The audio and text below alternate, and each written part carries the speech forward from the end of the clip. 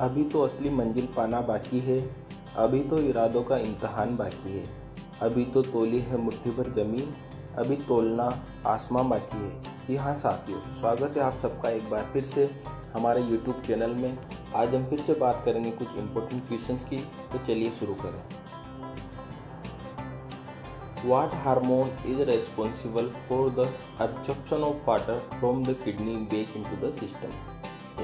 Antidiuretic hormone, B. Angiotensin II, C. Rennie, D. Aldosterone. Answer is antidiuretic hormone. Antidiuretic hormone is secreted by the hypothalamus and it is responsible for the reabsorption of water from the kidneys.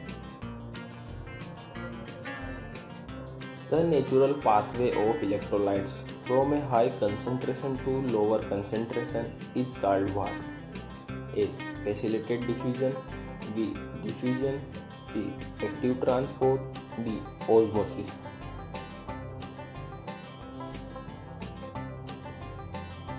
Answer is diffusion. Diffusion is the natural pathway of electrolytes. from a high concentration to lower concentration. It involves no facilitated or active processes. Osmosis is fluid transport across a membrane.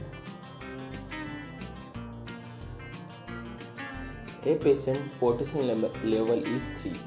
Which foods would you encourage the patient to consume? A. Cheese, collard greens and fish. B. Avocados, strawberries and potatoes. C. Tofu, oatmeal and peas. D. Peanuts, bread and corn. Answer is avocados, strawberries and potatoes. Which of the following is indicative of an ECG change in case of hypokalemia? A. Widened QRS complex and prolonged PR interval. B. Prolonged ST interval and widened T wave. C. Toll-T wave and depressed HD segment. D. HD depression and inverted T wave.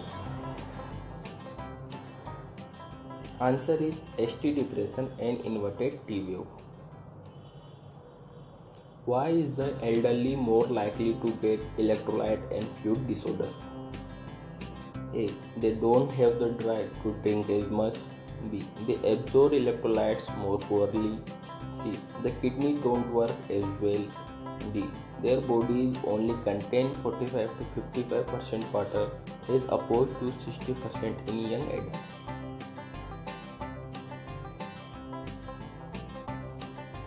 Answer is D. Because elderly bodies contain a less percentage of water, there is more likely to be fluid imbalance and electrolyte disbalance a client has a blood pH 7.3, you know, you know that this represents what? A. Alkalosis B. Normal pH value C. Acidosis D. Neutral pH value Answer is acidosis. Client with a blood pH of 7.3 is suffering from acidosis. What is the major cation in extracellular fluid? A. Potassium B. Sodium C. Chloride D. Magnesium